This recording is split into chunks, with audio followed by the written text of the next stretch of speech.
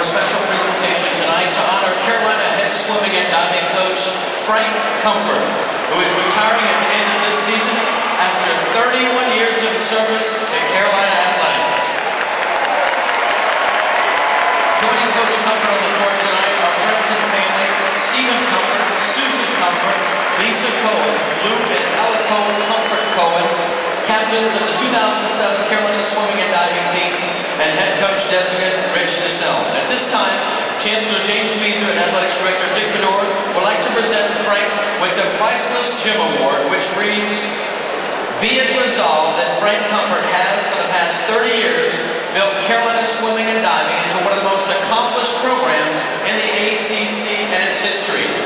He has been a champion coach, accomplished educator, mentor to nearly 1,000 Tar Heel swimmers and divers. He epitomized the role of coaches and as a teacher first. During his tenure, he won more ACC championships than any coach in history with 15 women's and 10 men's titles. His UNC swimmers won 13 national championships.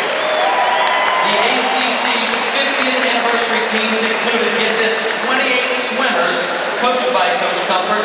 During his 39-year coaching career at Johns Hopkins in North Carolina, his teams won nearly 575 dual meets, more than any coach in collegiate swimming history.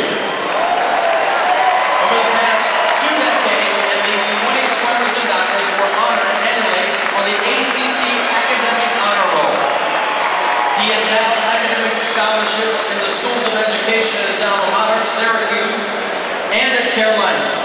In recognition of these accomplishments and the positive impact he has had on the university, our community, and the student athletes under his leadership, we, the undersigned, so declare Frank Comfort to be a priceless gem of the University of North Carolina at Chapel Hill.